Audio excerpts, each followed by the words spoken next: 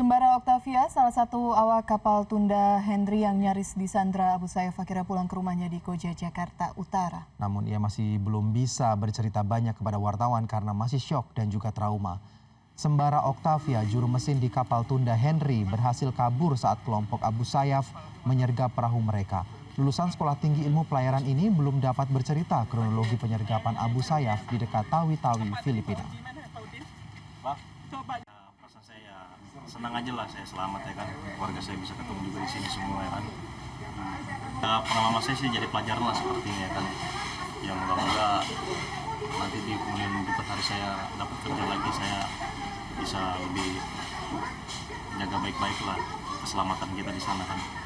Tapi kapok dong kamu tetap bekerja di oh kalau masalah kerja di laut saya tetap bekerja di laut. Tetap kita bekerja di laut